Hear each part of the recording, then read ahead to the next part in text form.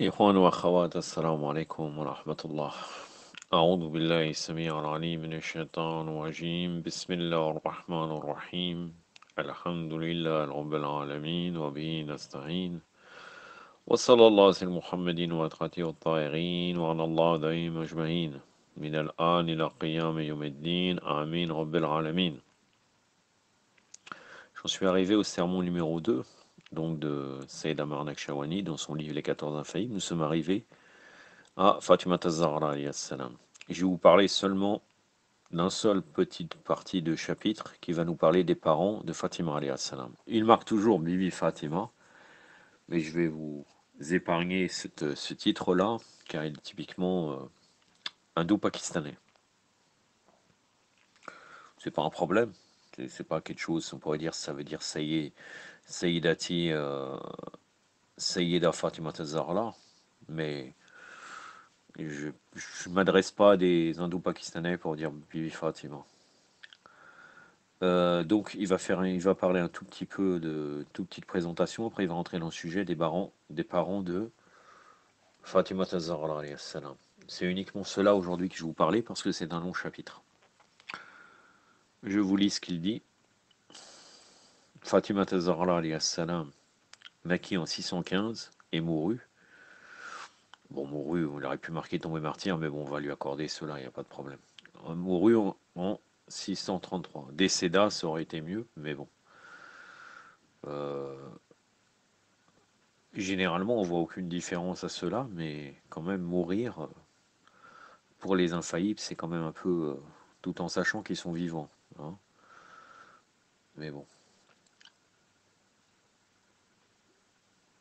Euh, mourut en 633, 11e année après l'Égir. Elle est vénérée comme la plus grande femme de l'histoire de la religion, une femme dont la vie nous donne d'extraordinaires leçons et de modèles de conduite, et une femme qui est vénérée pour son sacrifice, son humilité, sa bravoure et son dévouement au message de la religion de l'islam.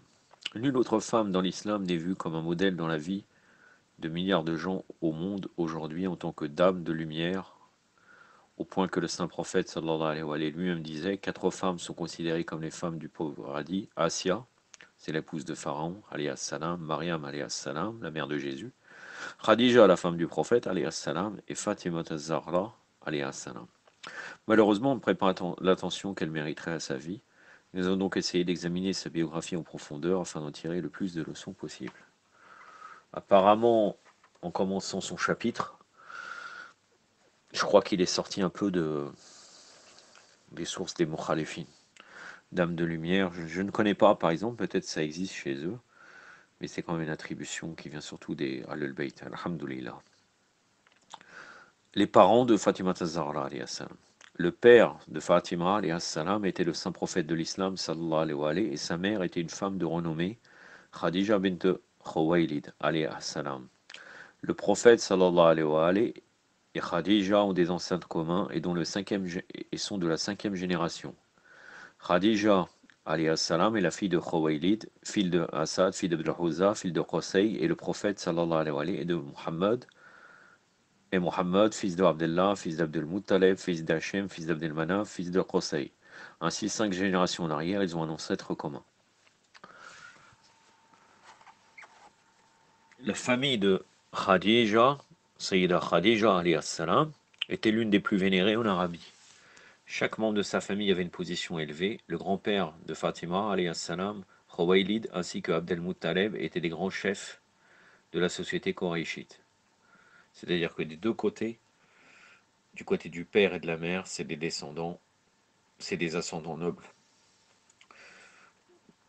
Lorsqu'il s'agissait, étaient les grands chefs de la société koraïchite lorsqu'il s'agissait de protéger la Kaaba. Les deux responsables principaux de la Karba étaient Abdel Muttalib et Khawaylid. Khawaylid s'appelait Khalid à l'origine, mais en Arabie, quand on s'appelait Khalid, on était surnommé Khawaylid. De la même manière que lorsqu'on s'appelle Jaber, on était surnommé Jouaïber.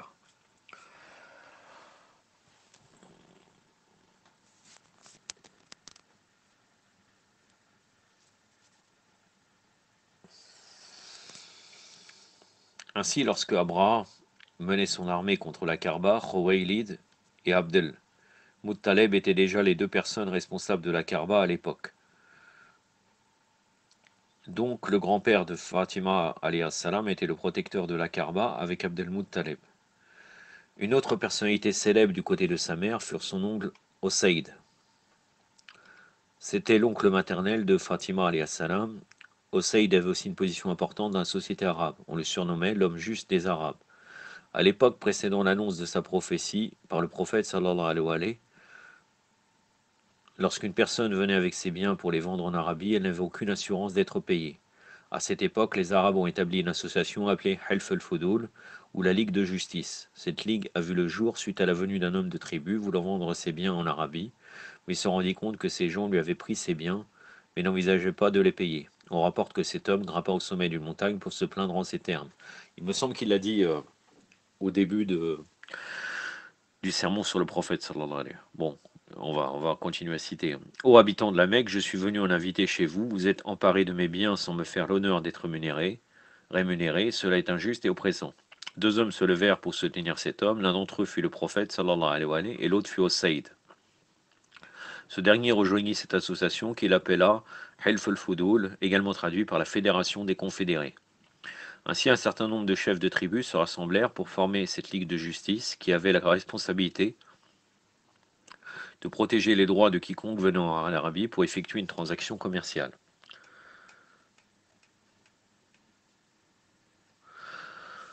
Khadija salam avait aussi un cousin, certains disent que c'était son oncle, du nom de Waraka ibn Lofeil. Selon les récits, il était monothéiste. Il y avait un groupe de gens qui continuaient à suivre les préceptes d'Ibrahim, salam, et Waraka en faisait partie. On raconte qu'il était un des premiers hommes à dénoncer le fait qu'on enterre vivant les nourrissons du sexe féminin. Comme mentionné plus tôt, il était commun dans la société arabe d'enterrer les bébés filles vivants.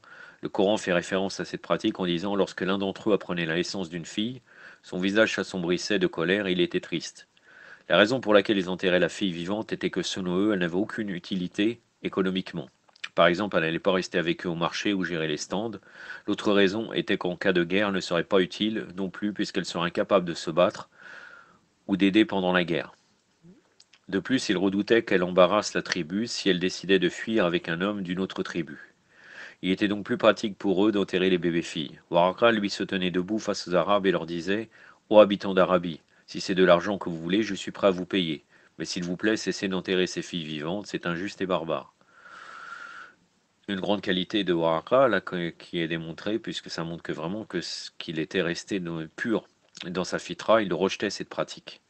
Donc il avait aussi une raison, si on prend la raison euh, euh, comme développée dans Kitab al-Raql de El-Kafi, une raison qui était euh, assez forte. Puisqu'il arrivait à être dirigé vers des choses qui appartenaient réellement à, la religion monothéiste et la religion de la fitra qui est l'islam. En d'autres thèmes, Fatima salam avait plusieurs membres de sa famille du côté de sa mère qui ont joué un rôle prédominant dans la société arabe. Ils étaient tous monothéistes ayant foi en l'unicité d'Allah. J'ai rien à dire, hein, franchement, c'est intéressant, c'est intéressant. Euh, il pourrait parler du maqam euh, de lumière de, Fatima Tazarla, mais bon, il reste quand même que, même si là on est toujours dans le Tanzil, ça reste des informations intéressantes et il est totalement dans son sujet. Alhamdulillah. Khadija salam a passé des épreuves très tôt dans sa vie. Les parents de Khadija décédèrent, faisant d'elle l'héritière de l'entreprise familiale.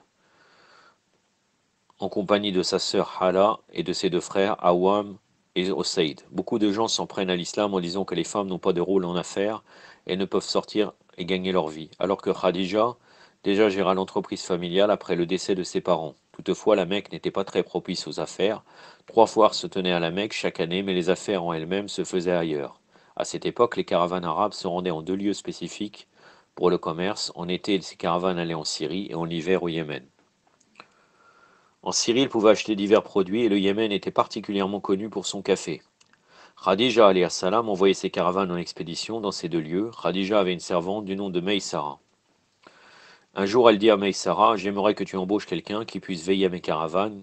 Qui recherchez-vous précisément? lui demanda Meïsara. Je cherche quelqu'un sachant voyager dans le désert et qui en a assez de bandits de grand chemin la nuit et qui a des notions de médecine. Très bien, lui répondit Maïsara, je vais effectuer ce voyage, si je vois quelqu'un ayant ces qualités, je vous en ferai part. À cette époque, Abu Taleb, alayhi salam, emmenait le prophète, sallallahu alayhi wa avec lui en Syrie. Lorsque Maïsara était en voyage, il entendit parler du prophète comme quelqu'un ayant une extraordinaire mémoire, quelqu'un pouvant se glisser dans un désert ne craignant pas les bandits de grand chemin. Ainsi, lorsque Maïsara revint de voyage, il dit euh, Là, il y a un petit problème. Parce que plus haut, sauf si j'ai mal lu, Maïsara. Non, non, non. Avait une servante. En fait, en fait il avait un serviteur. Puisque Maïsara, elle avait un serviteur, apparemment, c'est une personnalité masculine.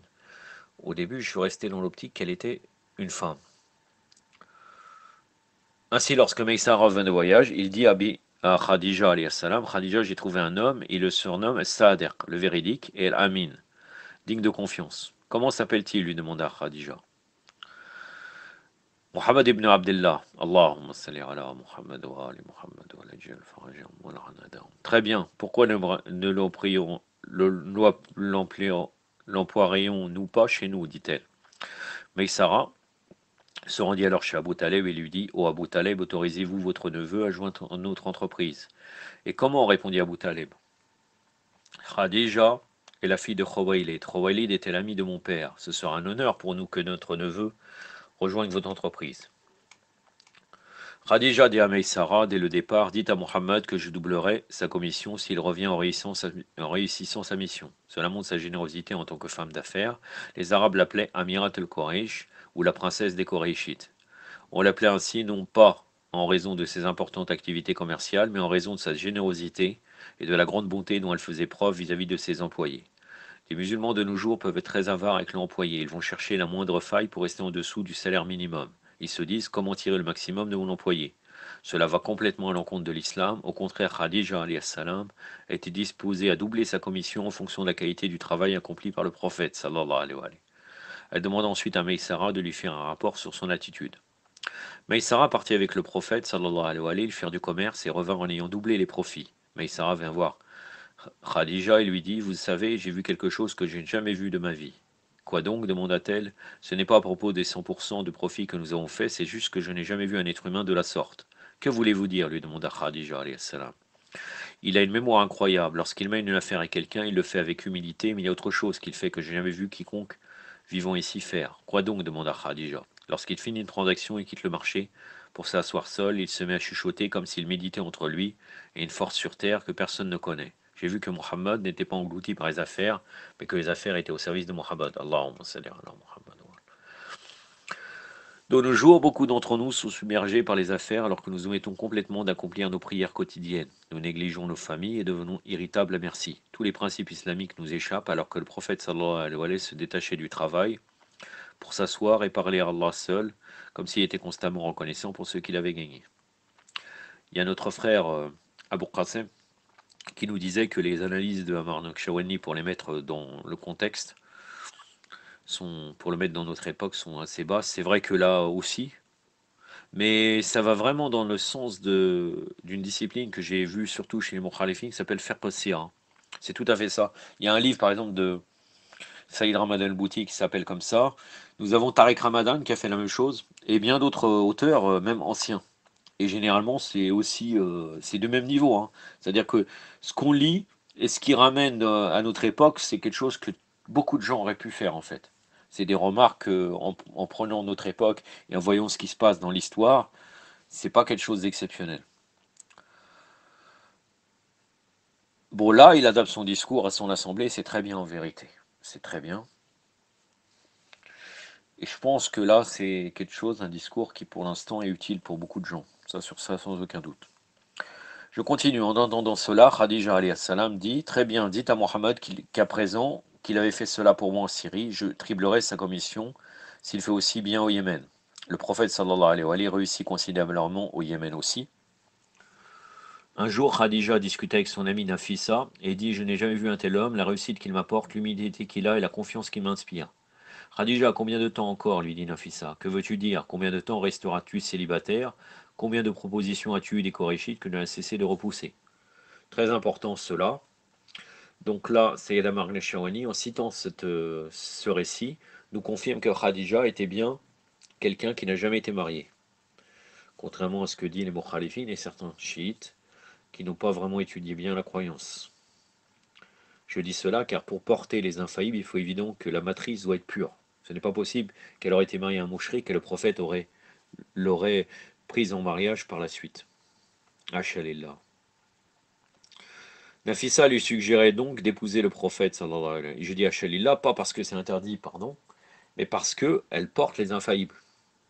Ce n'est pas possible qu'un mouchrik najis l'aurait touché à l'intérieur d'elle-même. Nafissa lui suggérait donc d'épouser le prophète, sallallahu alayhi wa Elle lui dit S'il a tant de qualité, qu'attends-tu? Très bien, lui répondit Khadija, mais tu fais la proposition. Ainsi, la médiation entre couples existait déjà du temps du prophète, sallallahu alayhi wa Aujourd'hui, dans nos communautés, on remet en question la médiation. C'est une pratique louable qui ressembla, qui ressembla, qui rassembla Khadija alayhi salam et le prophète, sallallahu alayhi wa Nafissa se rendit donc chez le prophète et lui dit Mohammed, j'ai quelqu'un pour toi comme épouse, serais-tu intéressé? Qui demanda le prophète sallallahu alayhi wa Khadija. Khadija, pour moi, cette question est une indication claire quant à la grandeur de Adam. Si le prophète sallallahu alayhi dit cela de quelqu'un, imaginez comment cette personne doit être pure. Il dit Accepterais-tu? Accepterait-elle quelqu'un comme moi? Je sais que oui, dit Nafissa. Bon, après, il faut vérifier parce que je sais qu'il y a des légères divergences dans ces sujets-là. Mais à mon avis, le tarqirq sur ce sujet n'est pas vraiment si important. Ne dit pas quelque chose de très très grave. Même comme si le prophète en même temps euh, accepterait-elle quelqu'un comme moi, ça reste limite parce que le prophète, dès sa naissance, sait très bien qu'il est un, déjà un habit. Donc il est supérieur forcément à eux, à une femme, aux autres hommes, etc., etc tout en étant bien sûr le, modèle de fait d'être humble et d'être le modèle dans un serviteur d'Allah. Je continue. Lorsqu'Abu Taleb eut connaissance de cette proposition, il sourit comme jamais auparavant. Abu Taleb salam dit Très bien, j'irai faire une proposition de mariage chez Khadija, et afin d'honorer cette union, je présenterai la cape et les affaires d'Abdel Muttaleb. On fit mettre un turban noir et une bague sertie d'une agate, aqiq, au prophète sallallahu alayhi wa sallam, se rendirent chez Khadija salam. On pourrait croire que Khadija étant fortunée, elle demanderait une importante dot, mais une personne sachant que la satisfaction dans la vie vaut mieux qu'une importante dot, ne demandera pas une importante dot. Le prophète sallallahu alayhi wa sallam dit La pire des femmes est celle qui demande une grande dot. Je ne peux pas confirmer que le prophète aurait dit ça, mais de toute façon, nous avons des hadiths, et même le mariage entre Fatima Tazarla et l'imam Ali confirme cela de la faiblesse de la dot. qu'on devrait, qu'une femme devrait demander. En plus de ça, Khadija connaît très bien la grandeur du prophète, car sa fitra est pure, et d'ailleurs, euh, on n'en a pas parlé, mais dès qu'il est descendu et qu'il a eu la première révélation, Khadija, dès qu'elle a vu la lumière du prophète qui se dégageait quand elle est rentrée chez elle, elle s'est convertie directement à l'islam. Donc elle avait une pureté suffisante, comme connaissant réellement au fond d'elle la valeur du prophète. Donc aussi, peut-être, elle ne demande pas une grosse dot, car elle connaît cette valeur avec le baraka, le fait qu'il était aimé par Allah, etc. etc. Puisqu'il est évident que Khadija était une muwahidin, elle n'était pas mouchrik, elle croyait en Allah et l'unicité d'Allah, tout en ne pratiquant pas l'islam que nous avons maintenant, c'est une évidence.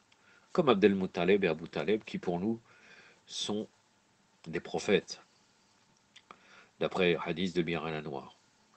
En ce qui concerne le prophète, sallallahu alayhi wa Khadija, Khadija salam, la dot est fixée à 400 pièces d'or et le mariage eut lieu. Ils rompirent avec tous les clichés dans leur mariage. En Arabie, une femme doit être l'égale d'un homme dans trois domaines et supérieure à lui dans un domaine que l'homme doit surpasser la femme à d'autres niveaux. Une femme doit être l'égale d'un homme en termes de moyens financiers, d'âge et de décence et doit être supérieure à lui en apparence. L'homme doit être supérieur à elle en termes de moyens financiers et de taille. Or, Khadija était plus riche que le prophète et plus âgé que lui de deux ou trois ans. Très intéressant, deux ou trois ans. Donc 28 ans. Hein, puisque le prophète sallallahu alayhi wa sallam s'est marié à l'âge de 25 ans. Contrairement à ce que disent les Mukhalifin. 40 ans pour Khadija et 25 ans pour le prophète sallallahu alayhi wa sallam. Donc là, euh, là, alhamdulillah, Sayyida Ammar, tu es sorti de toutes tes références qui sont en grande partie, partie comme tu as dit dans ton introduction, des Mukhalifin. Alhamdulillah. Abu Taleb prie ensuite Bismillah ar-Rahman ar-Rahim. Par le nom d'Allah, le plus clément et le plus miséricordieux. Nous sommes les enfants d'Ibrahim, salam, de la lignée d'Isaac, Ismaël. C'est un honneur pour moi d'unir Mohammed ibn Abdullah à Khadija ibn bint Khuwaylid. Et il continua ainsi son sermon qui fut suivi de la cérémonie de mariage. Certains prétendent qu'Abu Taleb est décédé mécréant alors que son sermon est une preuve parmi tant d'autres de sa croyance en Allah. J'allais le dire, Arsant, Jazakallah khair, c'est Ammar. On pourrait penser qu'une fois mariés, leur première année de noces allait être limpide, car on avait Khadija d'un côté et le prophète sallallahu alayhi de l'autre, et qu'Allah les aimait tous les deux, ils ne devaient pas avoir de difficultés. Mais au contraire, ils vécurent les premières années les plus difficiles.